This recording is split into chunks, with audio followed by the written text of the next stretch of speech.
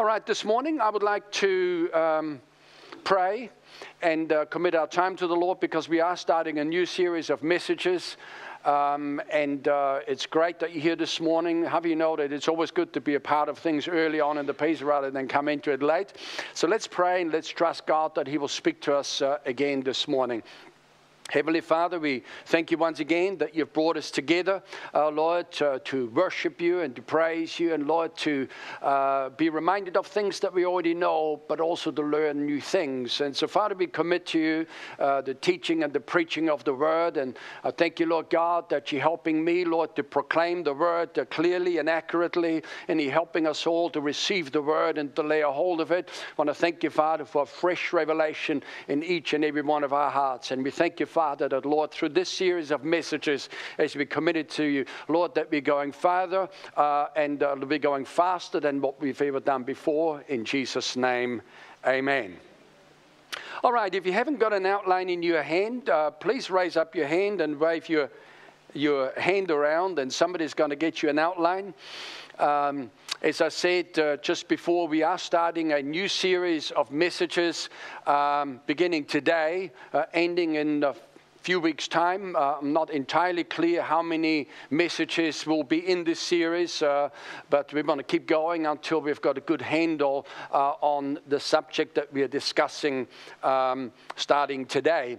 The title of uh, this message and this series of messages is How to Develop Strong and Overcoming Faith how to develop strong and overcoming faith. And uh, many of you have heard teaching on faith before, uh, but some of you have not. Uh, in terms of everything we preach, uh, we would like to believe that faith is woven throughout it. Uh, we are, after all, word of faith people, so faith is in everything that we say and do. But every now and then it's good to stop and to just entirely focus on faith, uh, what it looks like, what it is, how to get it, how to release it. And as I said, uh, some of you have not had any such teaching before, so I'd really encourage you to pay full attention because this teaching is going to help you. Some of you have heard teaching before. Uh, I ask you to not tune out and say, I've heard this before, uh, because you see, we need to understand that the Word of God is always fresh and always new.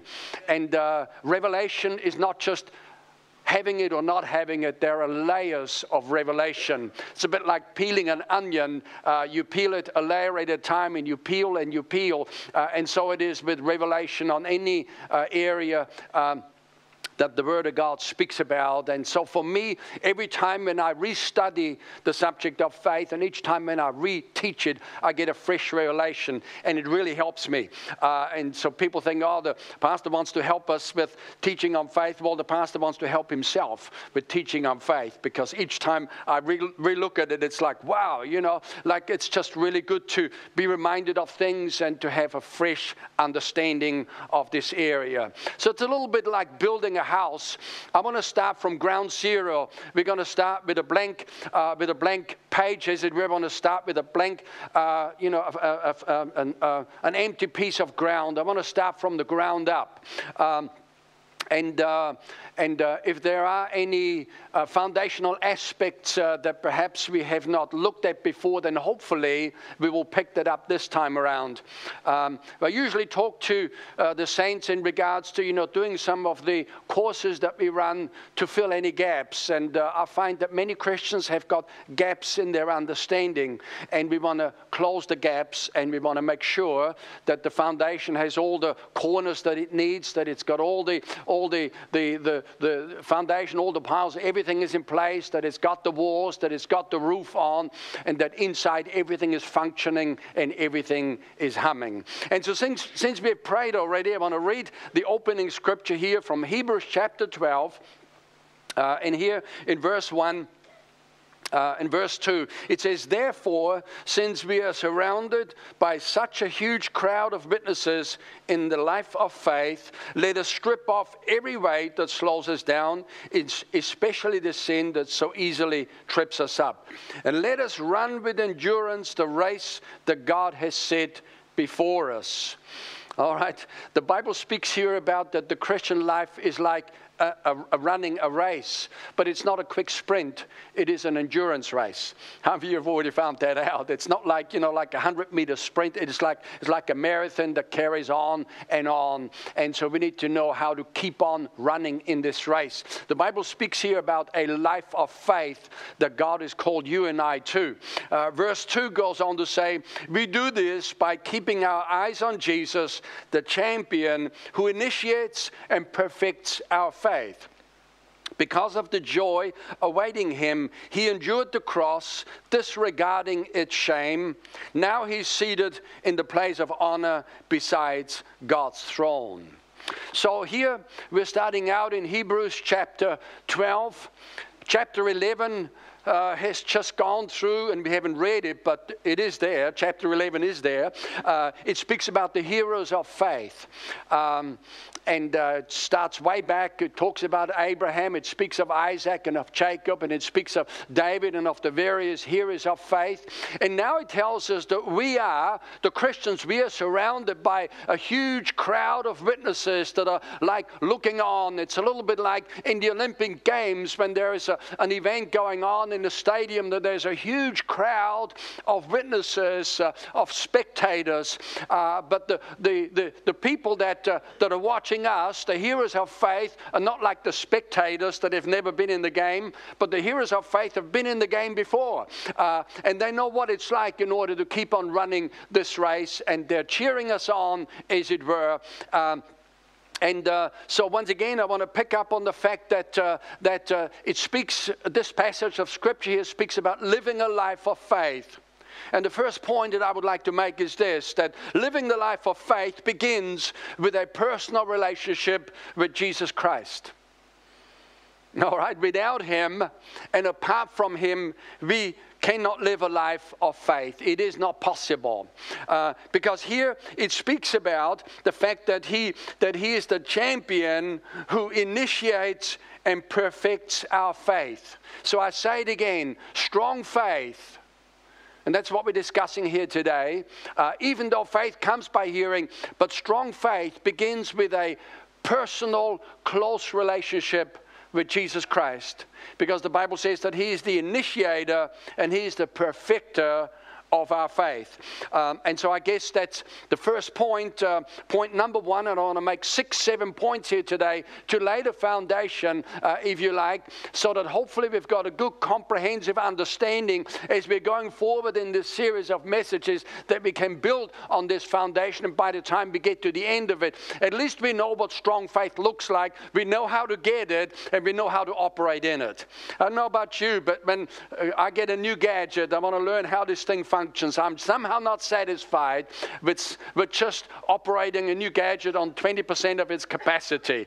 Uh, and, you know, it's a little bit like the Christian life. If we only, uh, you know, like if it were an eight cylinder car, if it only hums along on three, four uh, uh cylinders, it's just not right. Uh, we need to just max this thing out and go all the way out. As we heard this morning, as, as Benita shared in the tithe talk, it's just all in. Uh, how many you want to be all in?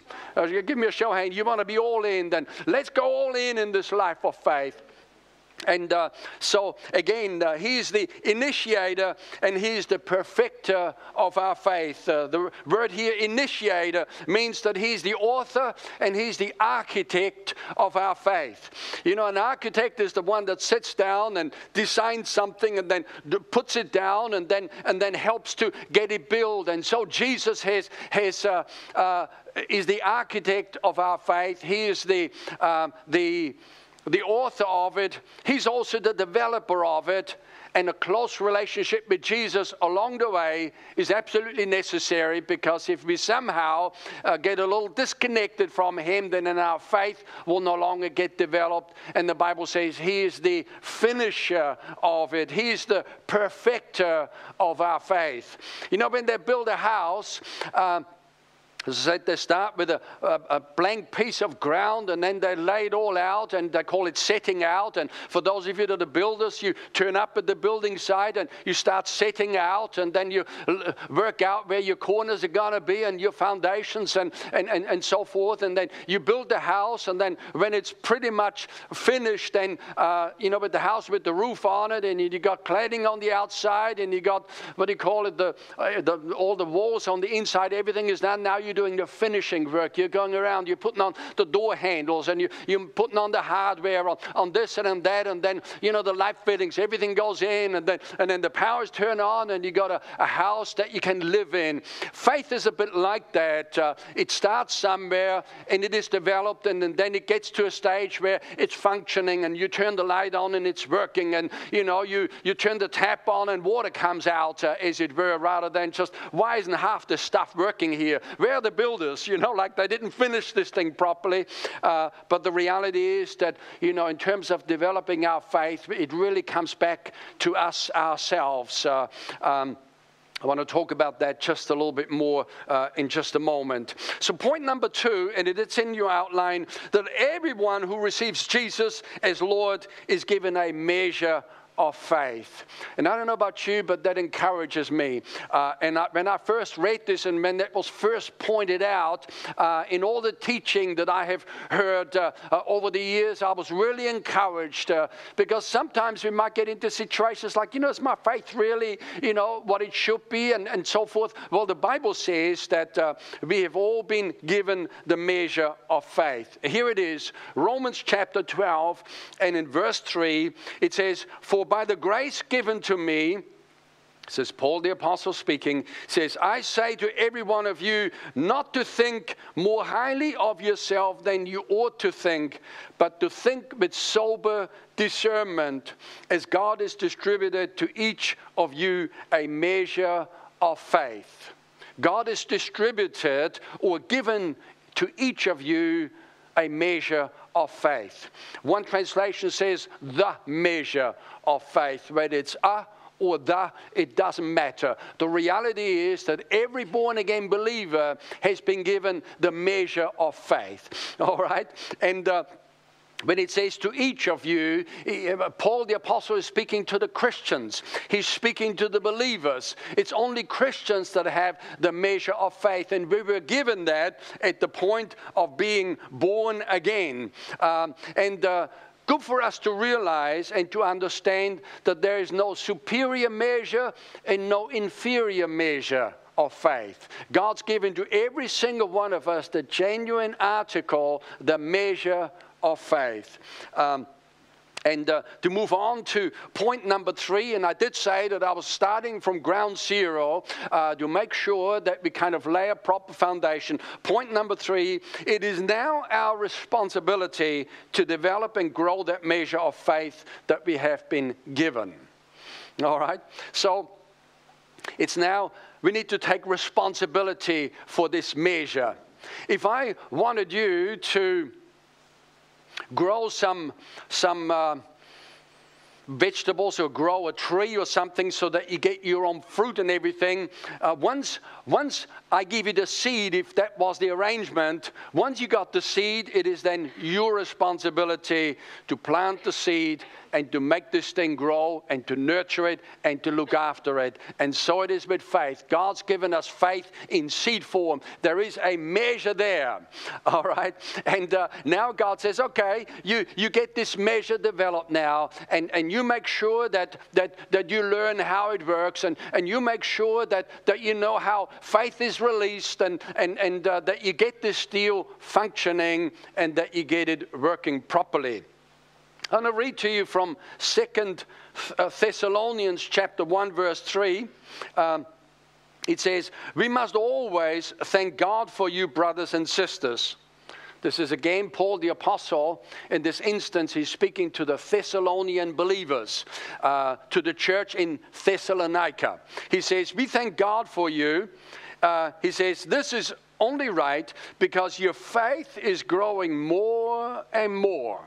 I know about you, but I like that. Uh, that, that statement right there. Your faith is growing more more and more. All right? Uh, it says, and the love that every one of you has for each other is increasing. So it speaks about faith growing and love increasing. And that really is the point here in terms of uh, the, the measure that we have been given. Um, it's, it's, it's not an inferior measure. Uh, and one wasn't given a smaller measure than another one. In fact, the measure that we have been given fits with the calling and with the purposes that God has placed on our lives. And there are special callings along with that come, if you like, a sort of a special measure. But beyond that, everybody uh, has to develop the measure that they have been given. And it says here that he says that your faith is growing more and more. And I'm encouraged by that. It means I'm not just stuck with the measure that I've been given, but I can actually make this thing grow more and more. Um, one day, uh, Jesus' disciples came to him and they said, Lord, increase our faith. I mean, they realized that things weren't quite as humming as what they wanted things to hum, and they looked at Jesus and they saw his faith really humming, and so they said, Lord, increase our faith. Um, and you know, the reality is that uh, somebody cannot increase our faith per se, we need to increase our own faith. Now, if somebody comes and shares truth with us and teaches us things that we do not know, they will cause our faith to increase for sure, but in the end, everybody has to take take responsibility for their own measure of faith. And the good thing is, friend, as I said before, that we're not just stuck with the measure that we've got. We can make it grow. We can make it grow. We can make it increase. And see, faith is like a physical muscle, and a physical muscle is able to develop and to grow to handle, say, if we were weightlifting, to handle bigger weights. And in the same way, our faith is like a spiritual muscle that is able to grow to help us handle bigger assignments and to handle bigger challenges in life and to handle bigger faith projects. And uh, friends, sometimes, sometimes in our journey of faith, it's good to not just say, well, I'm just going to use my faith until my needs are met we don't want to just focus on needs. Sometimes we just stretch our faith for no other reason than to have a faith project. Not because we need something necessarily, but we want to exercise our faith and make it grow bigger. And uh, sometimes people don't even think about their faith because they think that faith is only made for the bad days. And they say, well, we got the good days now, so we don't need to be thinking about faith. But, friends, the point is this that we build our faith in the good days. So, when the challenging days come, our faith is working.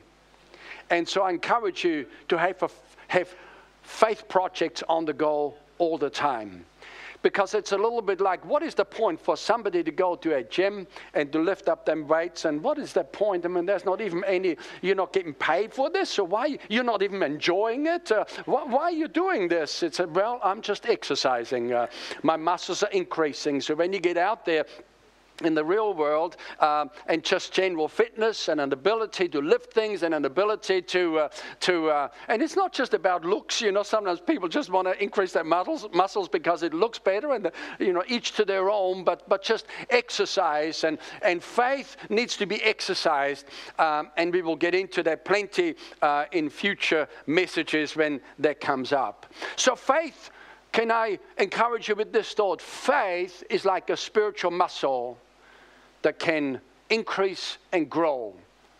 And so, wherever your faith is at today, it is what it is today, but it can be stronger tomorrow, it can be stronger next week. And at the same time, if you neglect your faith, it can be weaker next week and more weaker still the following week.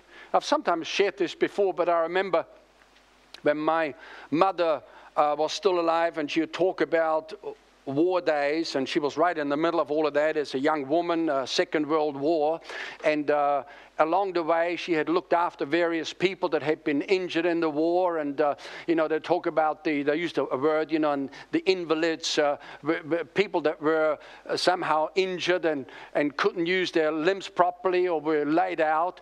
And, and she said, It is amazing, she says, how quick it goes when somebody doesn't use their muscles, how their muscles can shrink and sort of uh, kind of, uh, uh, I don't know the correct word, but you see, the medical profession understand that today. Uh, it's amazing when somebody can go through a major surgery, such as a, you know, a hip or knee replacement, and one, once that's done, the very next day they got them up on their feet because now it's developing the muscles again and making sure that the muscles don't sort of, as it were, slide away. And so it is, friends, with, with our faith. It's like developing our faith and making sure we are pumping and we are firing uh, on all cylinders, as it were. So let me really, really, really encourage you with that. Um, focus on your faith and let us not compare our faith with each other's faith. Let us only compare our faith with the potential of what's possible and seek to stretch further and to go beyond where we've been in the past. 2 Corinthians chapter 10 verse 15. Paul says, "Nor do we boast and claim credit for the work someone else has done. Instead, we hope that your faith will grow so that the boundaries of your work among you will be extended." Again, Paul the Apostle still speaking. He's still talk, talking about faith growing. He's now speaking to the Corinthian believers. Before he talked about the Thessalonian believers. Now he's speaking to the Corinthians and he says, Look, he says, we really hope that your faith will grow. Uh, he says, so that the boundaries of our work among you will be extended. Friend, here's what happens.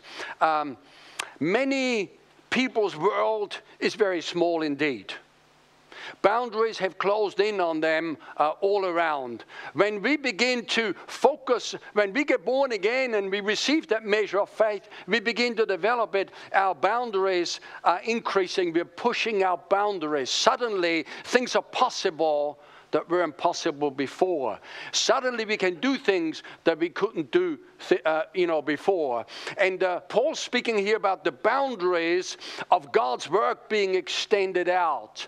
You see, friend, when we develop faith in terms of our calling and our ministry, we are able to increase and we're able to do more than what we've done before. Sometimes, you know, particularly in the early days of people's Christianity, really, people are really quite busy with themselves, and, and, and, and that's fine, you know, I guess until people find their feet and suddenly they say, well, actually, there is life outside of myself. There's other people, and they got needs as well. So I, uh, God's called me to help and to, to, to teach other people and to serve other people and so forth. And so our faith, as it increases, it extends our borders. Uh, the kingdom of God grows. That is so for us individually because every single one of us has a ministry uh, outside the house, as it were. You know, we serve in the house and we, we have a ministry collectively that we fulfill and certain mandates. And, and with everything that we got going on uh, in terms of mission projects and both local as well as, you know, overseas and so forth, this is all our faith working.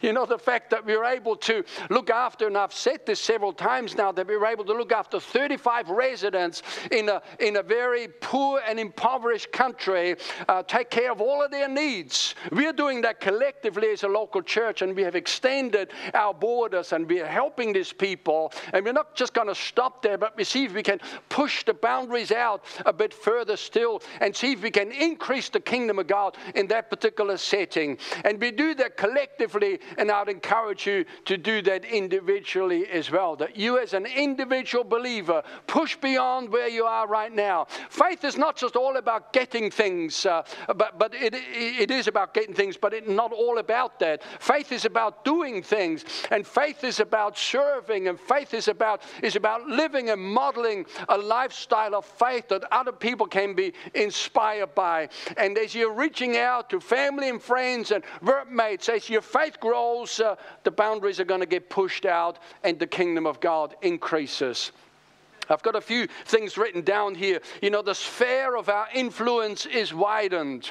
Uh, all right, so our influence grows. Uh, have you know that, especially these days, where the, with the complexities of just general living and the challenges that people are facing at every turn with, you know, with work, with, with health, with family, and issues and everything. But when somebody's life suddenly begins to take shape, and, and suddenly there is a, there is a life of joy joy there and there's a life of stability there. By the way, faith will minister stability to you. It'll absolutely do that. From an unstable life to a stable life, from a, from a kind of a, a, a scattered sort of a situation to something quite solid. You're going to stand out above the people around you. You absolutely will because that's what God intends. When we start walking by faith, things will start to get better.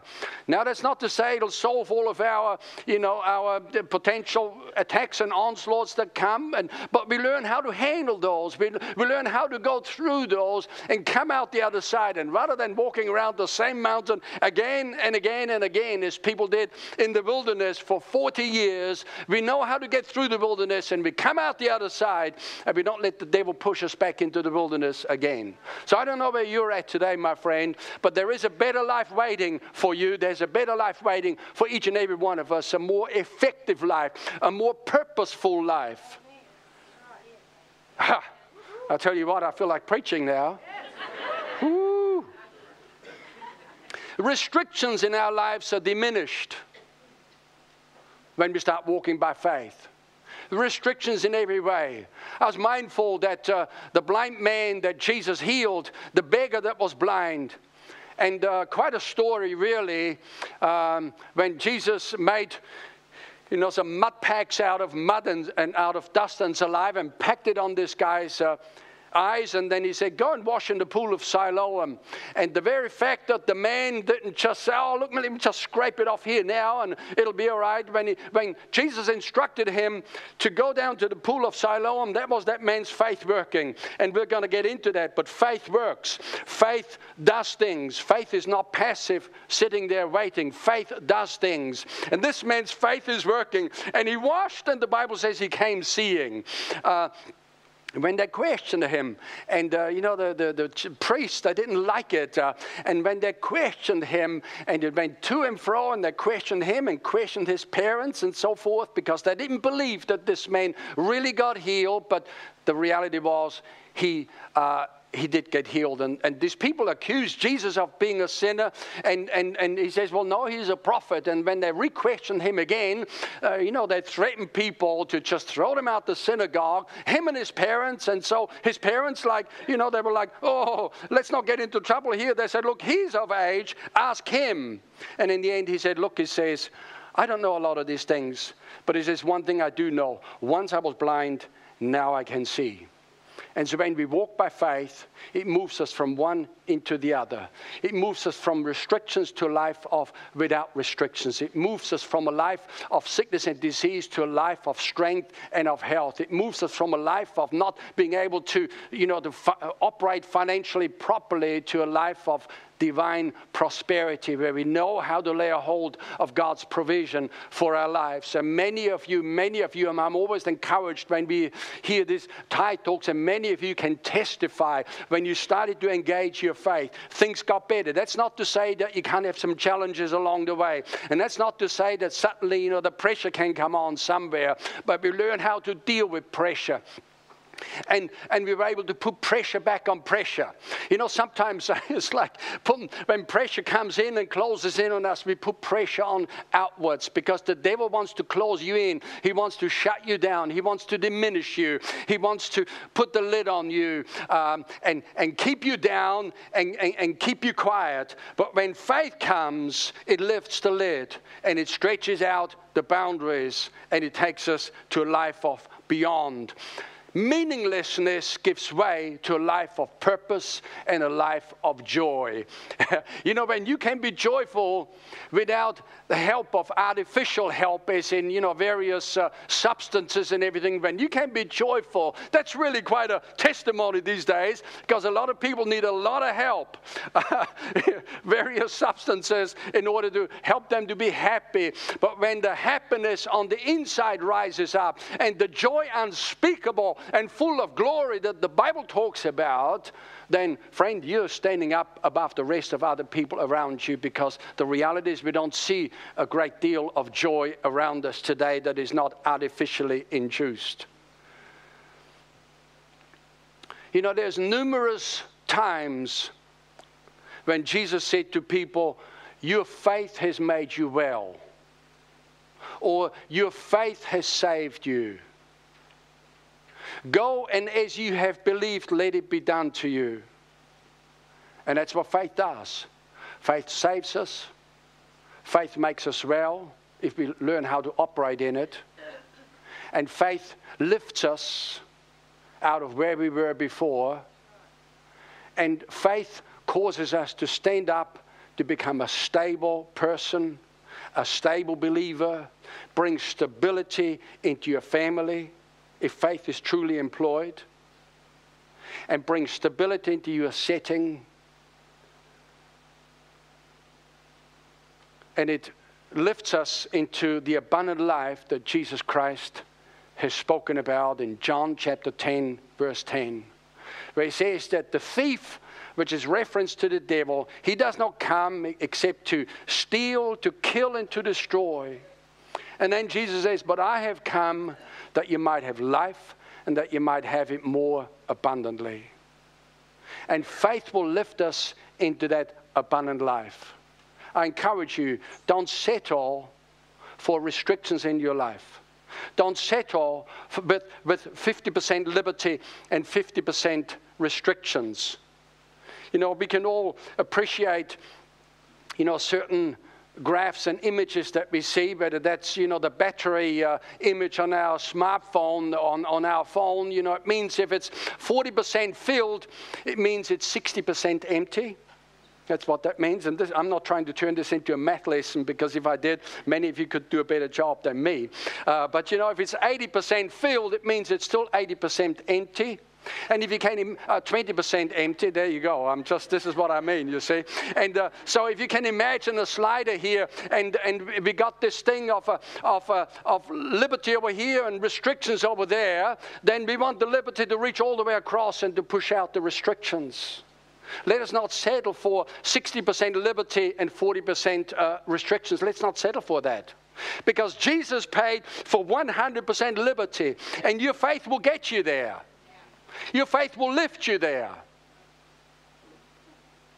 And your faith will put pressure on the pressure that you're experiencing pressure of poverty, pressure of sickness and disease trying to close in. Friend, when we learn on how to employ the God's economy in our lives and we begin to honor God uh, with our tithe and with our offering and we begin to uh, begin to operate by faith, we, we no longer uh, need to uh, wait for somebody to pay our bills and for government to look after us. God looks after us.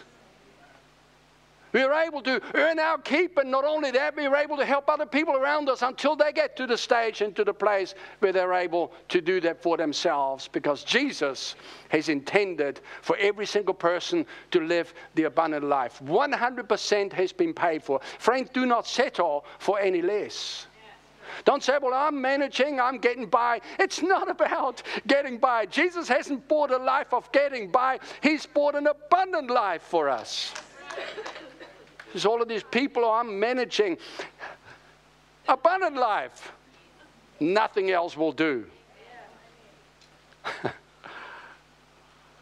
I'm happy, by the way. I just feel quite strongly about some of these things. And each time when I look at this, I say, wow, you know, the potential is there for 100%. Let's not put up with 5, 10, or 15% uh, restrictions and bondages in our lives because we are enjoying, you know, already 75, 80% of liberty. Let's push this whole thing out of the way. Put pressure on the pressure. Put faith pressure to push things out of your life. Number four, the Bible speaks about varying levels or degrees of faith from no faith to strong faith.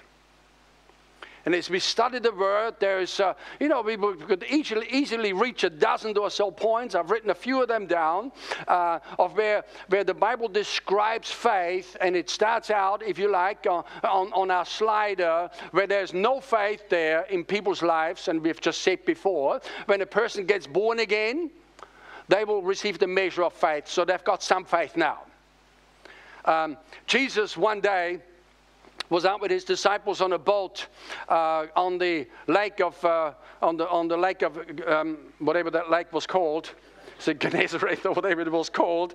And, uh, and the Bible says he was lying down and he was sleeping because he was resting, because he had just done some ministry. He's about to do some more ministry. He's resting up a little bit. His disciples are operating the boat and, you know, they're putting up the sails and everything. And a, storm's, a storm comes up. And next minute, you know, they're taking in water and things are just not that good all around. And they woke Jesus and, and they said, Master, Master, don't you care that we are perishing? And because Jesus looked up and because he saw the storm, and uh, he walked to the front of the uh, ship and a boat there, and he began to speak to the storm, and he says, Peace, be still. And here's a point right there, and we're going to get into details with that. But faith speaks. And faith knows how to declare certain things. The Bible says, The righteous shall decree a thing, and it shall be established unto them. As part of our faith journey, we don't just ask from God. Certain things we ask from God, but many things we deal with because we have already been given the authority and we can decree and we can speak into situations and into circumstances and see a change. And the Bible says, suddenly there was a great calm, and then Jesus turned around and he said to them, How is it that you have no faith? How did he know that they had no faith? Because they spoke of perishing. And he, he was set to go to the other side to carry on ministry. I mean, he, he was already over there, but this guy, oh, we are perishing. All oh, things are going down. Things are so bad. Things are so bad. He says, How is it that you have no faith? You can soon tell if somebody's got faith or no faith when you get around them and what they talk about will reveal whether there's faith there or not. And if there's faith, how much is there and what level of development is it at? And it's not about putting anybody down, my friend, but we are saying, we are saying the people of faith speak end result. They speak victory. They, they, they do not speak defeat. They do not speak poverty. They do not, uh, you know, as I say, that's an aspect of learning faith and how it operates. We need to learn the language of faith. And the language of faith in this instance for Jesus was to command the winds and the storm. And he says, Peace, be still. While these guys spoke of perishing, they'd already accepted what was going on and they'd already seen themselves as the victims of, a, oh, a storm is coming and we're all drowning, we're all perishing. He says, How is it that you have no faith? And the Bible speaks about dead faith. Dead faith in the book of James, uh, it tells us there, and we're going to get into some of that in more detail. I'm just listing uh, some of those. Uh, um, descriptions of varying levels of faith. Um, speaks about dead faith. The Bible says faith without works or faith without a corresponding action is dead. It's like a body without a spirit is dead, so faith without works is dead. That's why I said before that the man that was blind, when Jesus packed the eyes on, it wasn't all Jesus' faith, it was his own faith that he did exactly as God told him to do. Go down to the pool of Siloam, and his walking was a faith action, and the Bible says he came back seeing. So faith speaks and faith acts. But dead faith is just faith that doesn't do anything, it just sits there. Um, yet it's not hard to resurrect the dead faith and get it functioning into a life into a functioning faith. Then the Bible speaks about little faith. one other time, Jesus is again with his disciples, and uh, they're going from one place to another, and they get there, and they're out in the wilderness, and there is no there is no food out there, and uh, and uh, then Jesus talked to them about the, the, um, the, the yeast uh, or the leaven of the Pharisees, which is reference to the teaching uh, that they brought. And he, they, you know, sometimes he's toggling in and out of uh, talking about spiritual things and then natural things, and they just couldn't get with it. And then they said, Well, why is he talking about yeast? Maybe it's because we didn't bring any bread. And suddenly they realized we're out in the wilderness and we got no bread. And are we going to be hungry? And, and again, they're talking needs and they're talking problems and, and they're confused about things. And Jesus says, Oh, you of little faith. Oh, you of little faith. So they had little faith. They had faith. You know, have you know that little faith is better than no faith? All right. But little faith must not stay little, it can grow. And it did grow. I mean, some of these guys, they turn into spiritual giants, though they floundered along the way a little bit. And so, friend, uh, somewhere, somehow, we might flounder a little bit, but don't get discouraged. Bible says, don't despise the day of small beginnings. I look back now, some of the faith projects that Pastor Vanessa and I started and everything, some of that might seem a bit puny today. But, you know, we learned and we heard that Dr. Uh, uh, Yonggi Cho or David Cho, the pastor of the largest church in Seoul, Korea, uh, when he was a young evangelist, he believed God for some socks, a pair of socks just so he could go out and preach and look right. And then he wanted to get around the villages where he was, so he believed God for a bicycle. And by faith, he received his socks and he received his bicycles. And I thought, well, if God will supply socks to him, why don't I use my faith to, to believe, uh, you know, God for some socks? And that was at a time when, when money was just a little scarce. Um, you know, when you got four kids and, and you're the only one earning money and, you know, you just bought a house and you're just, you know, paying the mortgage. Sometimes things can get a bit squeezy. And so we started to use our faith back then uh, in this way. And I started to believe God for a pair of socks. I thought it's good enough for him, good enough for me. Why don't I make socks my faith project? And made other various projects, and then I aimed a bit higher. And some of the things that I aimed, uh, aimed for at the time was just a little too high, and it hadn't come to pass. But that's okay because my faith is still out there. I'm not saying it's not happening or it didn't work. My faith is still out there, and so don't don't pull your faith in, and don't don't uh, don't say it's not working. We just uh, uh find out where you're at with your faith and begin to stretch on and press on from there. The Bible speaks about weak faith. It talked about Abraham in Romans chapter uh, 14. It says, not being weak in faith not being weak in faith. So there's evidently weak faith. So it goes from no faith to dead faith to little faith to weak faith, and there's even wavering faith. Book of James speaks about wavering faith, that sometimes it's there and then it wavers a little bit. A double minded man is unstable in all of his ways, and that's why, you know, faith will put stability into our lives. And if we do not put up with wavering faith, we will become absolute uh, a rock of faith and absolutely stable Bible. Bible speaks about shipwrecked faith. Um, uh, Paul the apostle in Timothy spoke to young Timothy about a couple of guys called uh, Alexander and Hymenaeus, and he says they've run their, their, their faith shipwreck. Uh, uh it's like if, if, if, faith were a, were a ship, they run it on rocks, and it, now it's not working anymore, and now they're taking in water. Shipwrecked faith. Um, and yet it speaks about increased faith. And we've looked at that before increased faith. And that's what I, I want our faith to do. It's forever increasing for us individually and collectively as a local church. We want our, I want our faith to be increasing all the time so we can push out the borders and, and increase the sphere of our influence and bring the word out and go further and deeper to where we've gone before. And nowadays, with that whole online capability, and we've got some good people working in this whole area, that we can take these messages worldwide. Uh, because a message, once it's preached, it's good for 10 people, it's good for 100, 1,000, and it's good for a million people. Um, it's because if it blesses one group, it'll bless another group. And, and there is a mandate on our church, and there's a mandate on myself as the pastor to teach faith to people so it lifts them out of wherever they are right now. You know, some people's lives are quite good and quite okay uh, before they come to Jesus, but the reality is, even a good life will one day end and if they don't have Jesus in their life, it'll still end up in hell. And there's just no nice way to put this, my friend. We've got to absolutely state what the word says and not become politically correct. Um, but most people's lives uh, need a lot of help when they get saved. I certainly did. When I look back today, like it's, uh, it's if you knew me back then, I was mentioning before when I was in when I was in Guernsey, I just saw that little clip and reminded me of that small island there on the, on the Channel Islands between.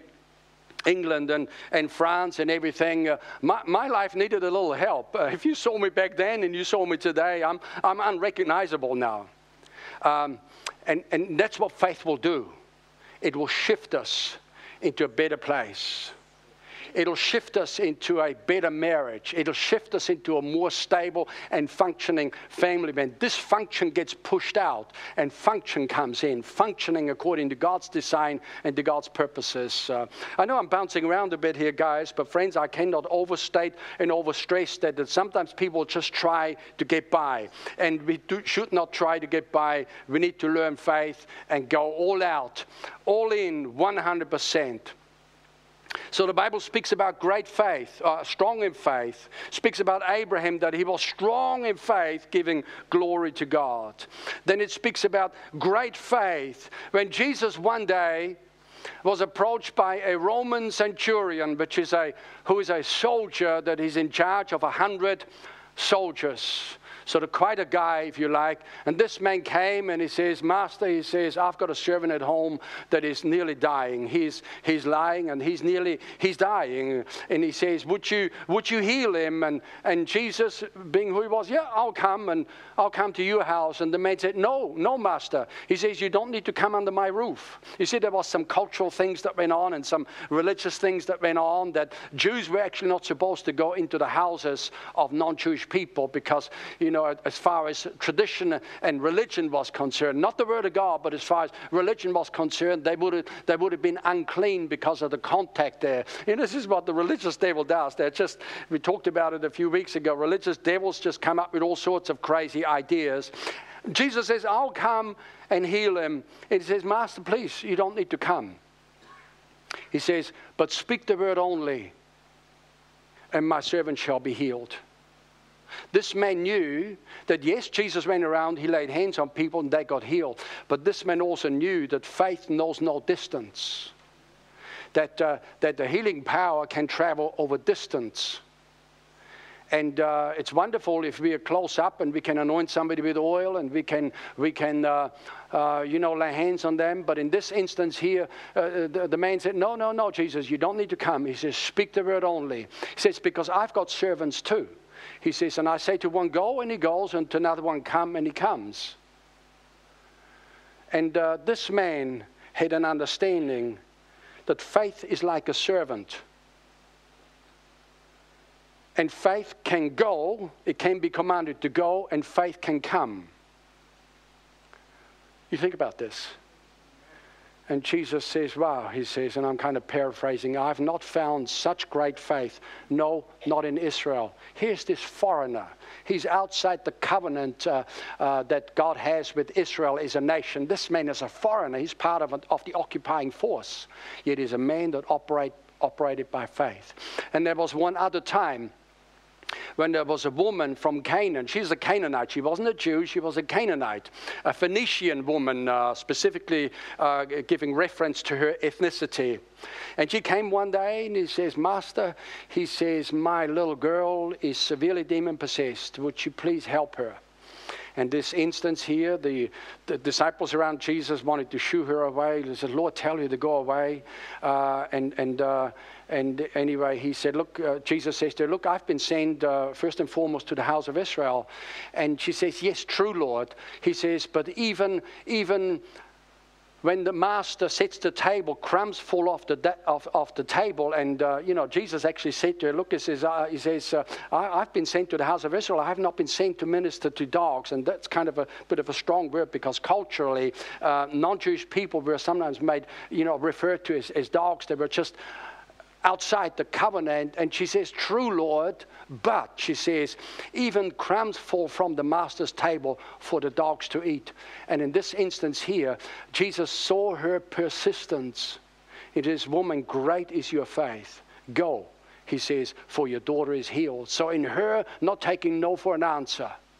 And when we walk by, by faith, we don't take no for an answer.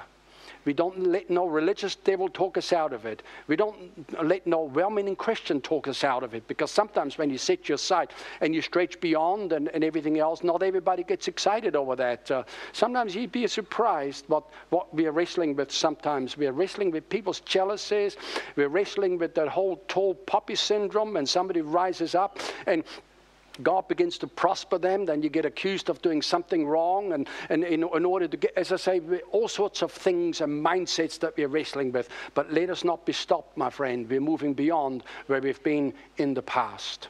So in this instance, uh, Jesus said, Oh, strong faith, uh, uh, great is your faith. And then, of course, there's exceedingly growing faith. Uh, we looked at that early in the lives of the Thessalonians. And there's also a term called full of faith. You will remember, for those of you that have read the book of Acts, where in Acts chapter 6, they chose uh, seven deacons to minister uh, in a particular capacity. And the Bible says that they chose Stephen, a man full of faith and of the Holy Spirit. You see, everybody that serves in the house should really be a person full of faith. All right? And this man was full of faith. So, if it's possible to be full of faith, it's also possible to be full of unbelief.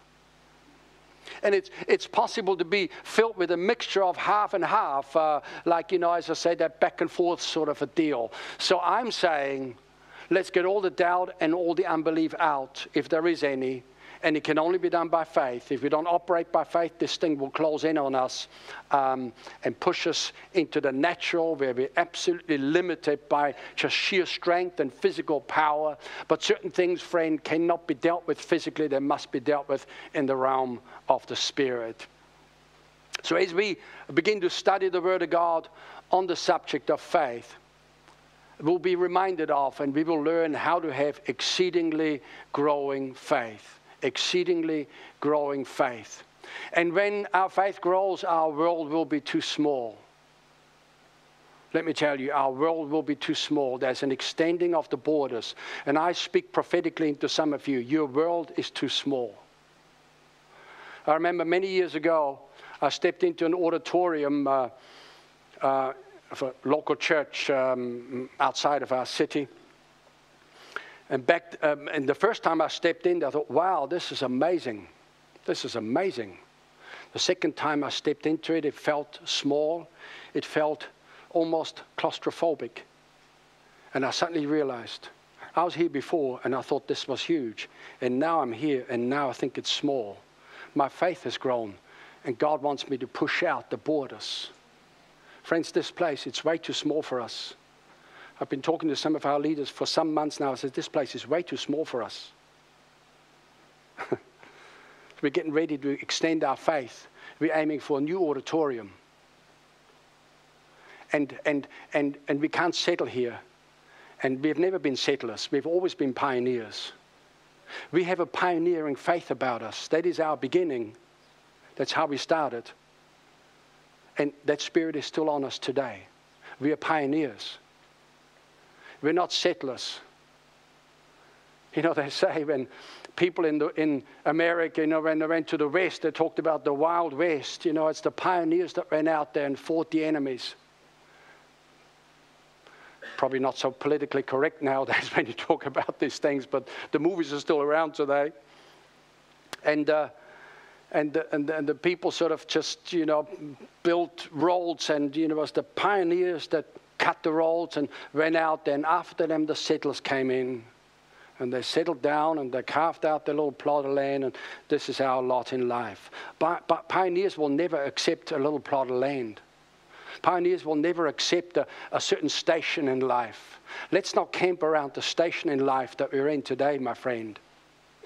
Don't settle with where you're at today. Let's go beyond. Let's make it a faith project to go beyond for no other reason than to go beyond. Do not let your boundaries define who you are.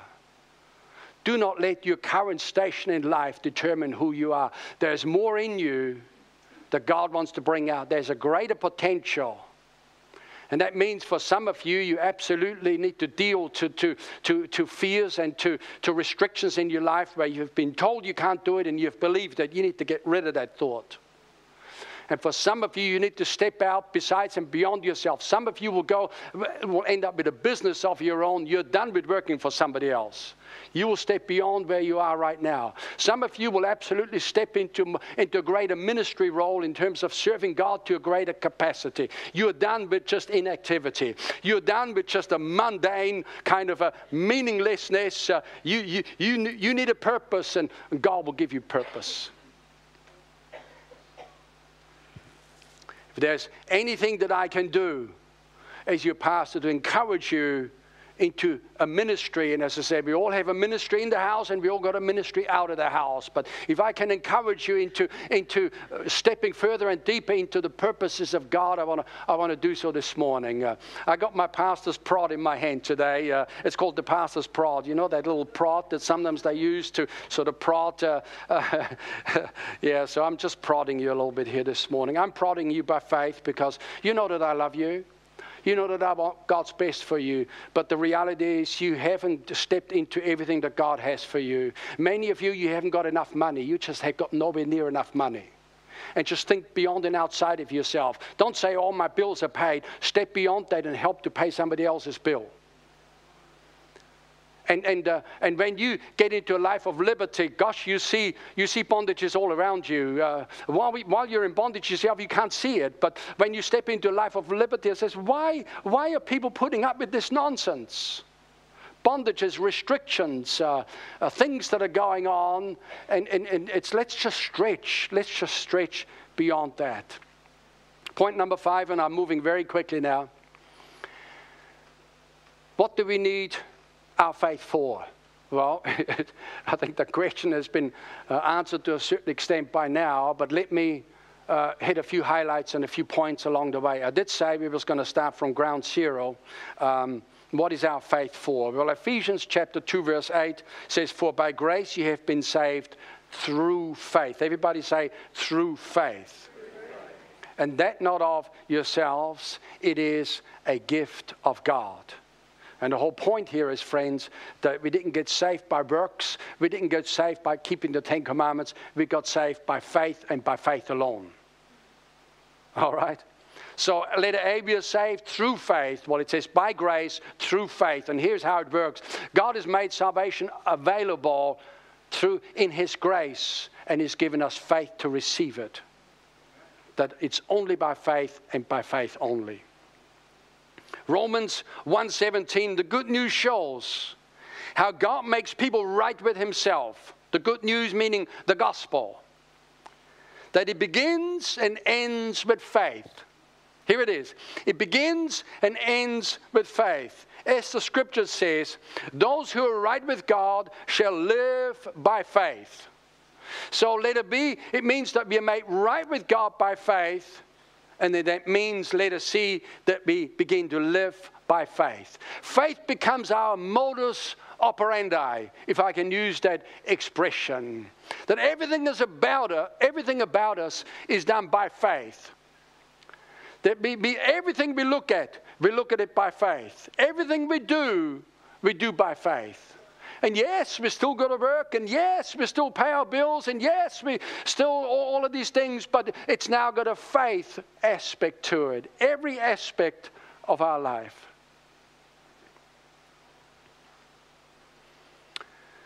One translation says, The just shall live by faith. The just shall live by faith. Abraham started to live by faith way back. The nation of Israel was toggling in and out. When the 12 spies were sent into the wilderness to check out the land, 12 spies went in and they all came back. Ten were in doubt and unbelief, two were in faith. The ones in doubt and unbelief, they died in the wilderness. And Joshua, the Bible says, and Caleb, who had a different spirit in them, they stepped on into the promised land. It's by faith.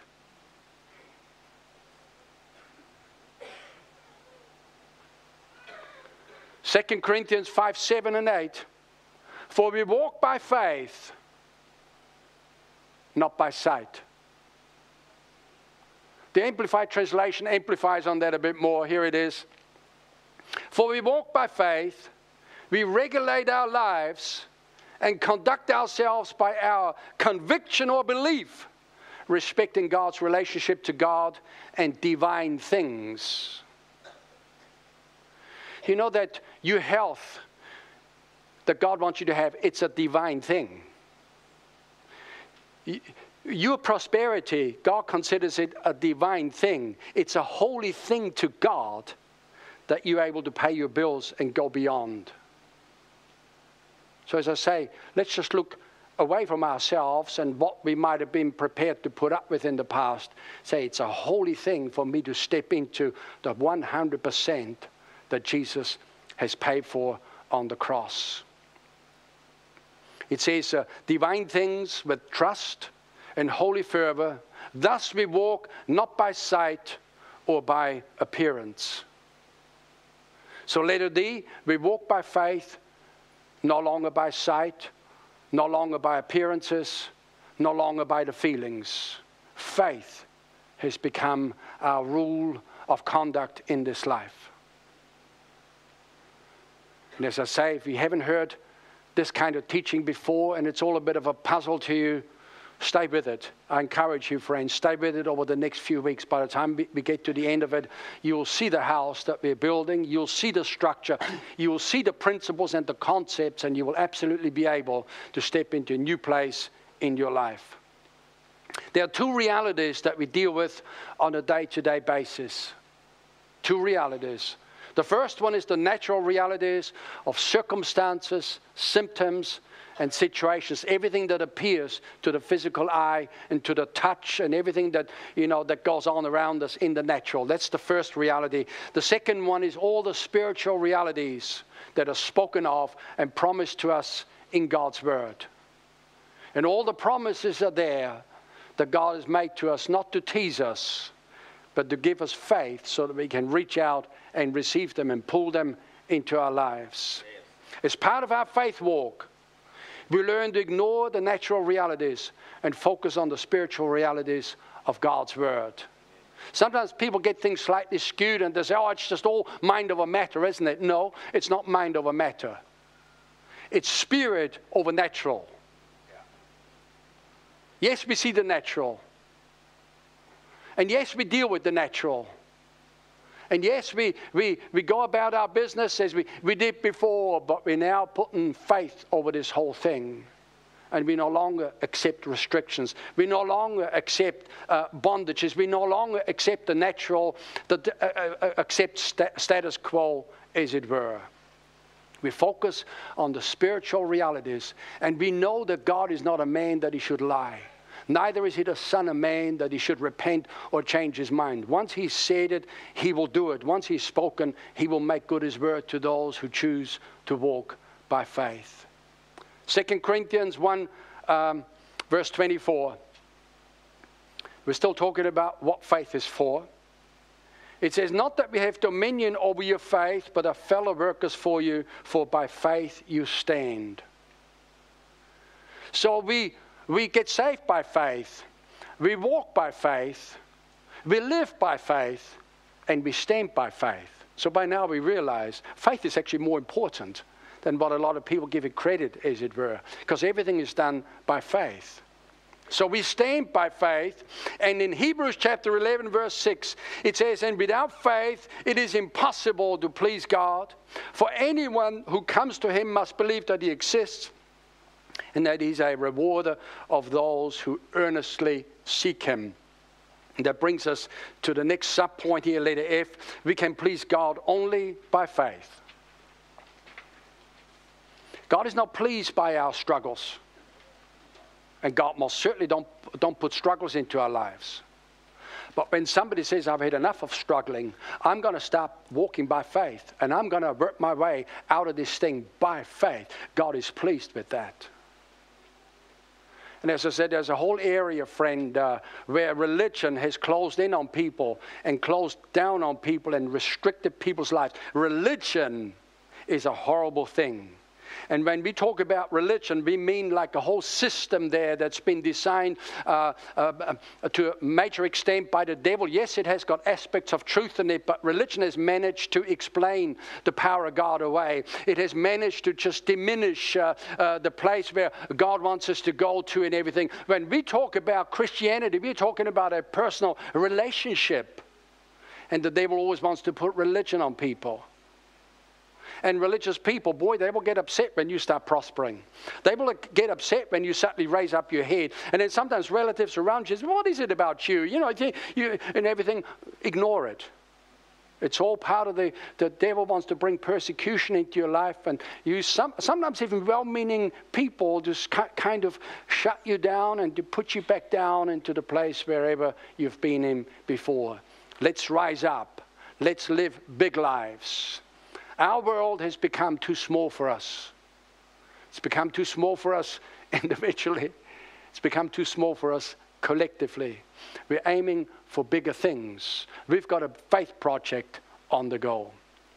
And then point number six, I only got two more points, and I'm moving very quickly now. It's what is faith? Well, we will describe what faith is as we go forward. But if I had to just single it out in one point that will, to a, a, certain extent, capture what faith is, I will put it this way Faith is believing God's word over and above what we see with our natural eyes. Faith is believing God's word. And praise God for calling the Bible Bible. Because the word Bible means book. But it's not just any book, it's God's book. It's God's written word of God. And let's settle once and for all any idea that you had heard that God's word has been messed with and tampered with and it's not really the real deal, put that aside, otherwise, you can never have great faith. Because ultimately, it comes down to the written word of God. And believing that past and beyond that's why when Paul says we walk by faith and not by sight, he's talking about natural death. And he's talking about going to heaven. And he says, uh, says when we get to heaven, he says, we, we, we're looking forward to having, having you know, to be, uh, as it were, unclothed in, in, in, in this life, with, with our old life, with our body, and to get to heaven to be clothed with our glorified body. In the natural, if you looked at it purely in the natural, somebody's life begins and somebody's life ends, and that's the end of it. But the Word of God tells us that yes, our life did, did begin, but it goes on forever and ever. And the Bible describes to us places in eternity a place called heaven and a place called hell. So we don't tamper with that anymore. It is what it is. All right? And the Bible tells us how to get to the one, and if we neglect that, how, how we will end up in the other. And as I say, the Word of God describes to us our, the whole spirit realm. And you see, the whole point is this that uh, people say, I believe in angels because I've seen one. And I say, that's wonderful. You know why I believe in angels? I believe in angels because the Word tells me about angels. Whether I see one or not see one has nothing to do with it now. I believe in heaven not because I've been there, because the Word tells me about heaven. I believe in hell as a real place because the Word tells me about hell. And I believe in a true salvation because the Word tells me about a true salvation. And I believe in only one way to heaven because the Word says there's only one way to heaven, and His name is Jesus Christ. So faith is believing God's word over and above what we see in the natural eyes. The Word of God becomes final authority in our lives. Everything else, we call it but a lying vanity. It's just a circumstance, it's just a situation. It might be there right now, but it will be gone tomorrow. We can change it, and we can change it by faith. Mark 15, verse 31. Likewise, the chief priests also, mocking amongst themselves with the scribe, they said, He saved others, but he cannot save himself. This is now Jesus hanging on the cross. They're at the foot of the cross mocking. They said, Let the Christ, uh, uh the King of Israel, descend now from the cross that we may see and believe. You see, faithless people want to see before they're prepared to believe. But people with faith, they believe. They are prepared to believe before they see. And because they believe, they will see. It's a whole back to front kingdom, my friend. We know the saying seeing is believing, but it's not like that in the Word. Believing and then seeing is what the word describes to us. That's kind of a very, very basic description of what faith is and what faith looks like. So, faithless people demand to see before they're prepared to believe, and people of faith are prepared to believe before they see.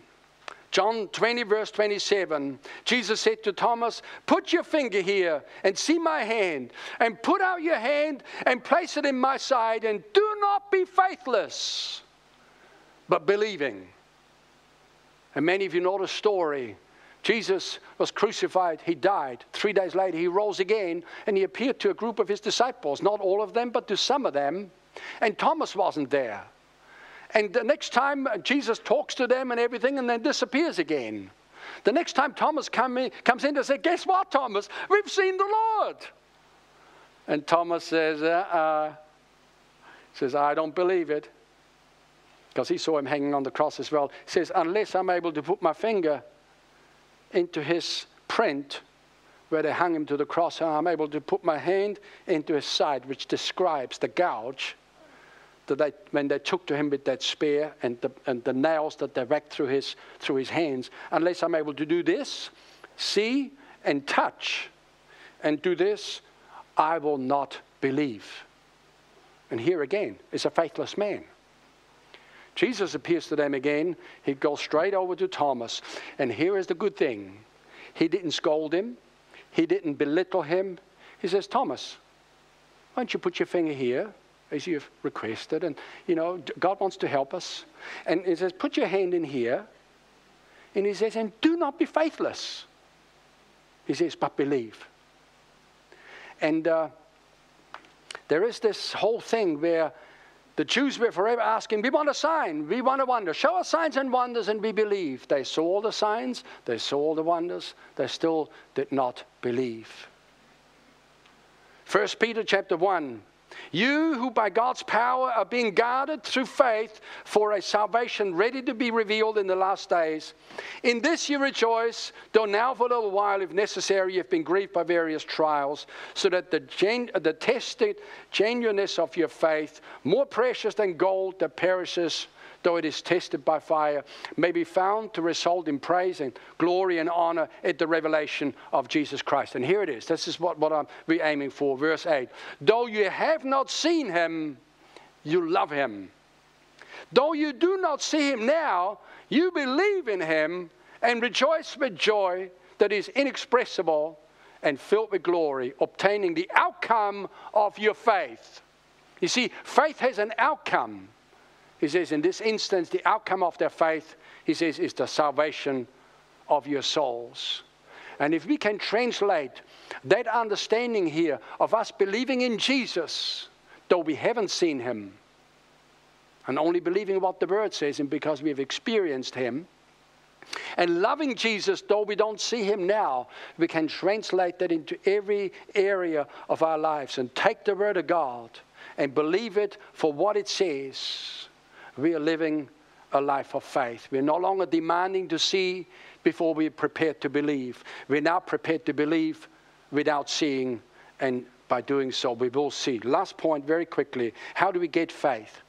All of that to say, how do we get faith? Well, Romans chapter 10, verse 17 describes how we get faith. It says, Faith comes by hearing, and hearing by the word of God. Faith comes by hearing the teaching and the preaching of the written Word of God. That's why we got a lot of scripture in our messages. That's why we don't preach trendy things. That's why we don't just bounce around and have a little poem here, a little tap dance here, and everything to entertain people. We preach the word because only the word ministers faith into people's lives.